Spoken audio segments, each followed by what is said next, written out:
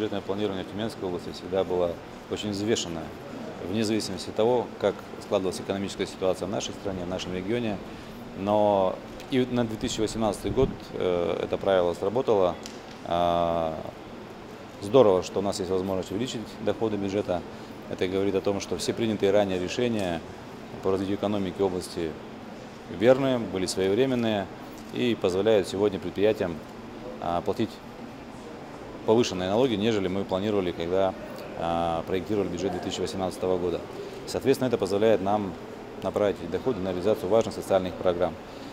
А, Думаю, что и в дальнейшем при проектировании следующего трехлетнего бюджета на 2019-2021 год будем также исходить из э, консервативных, умеренных подходов, части наших доходов.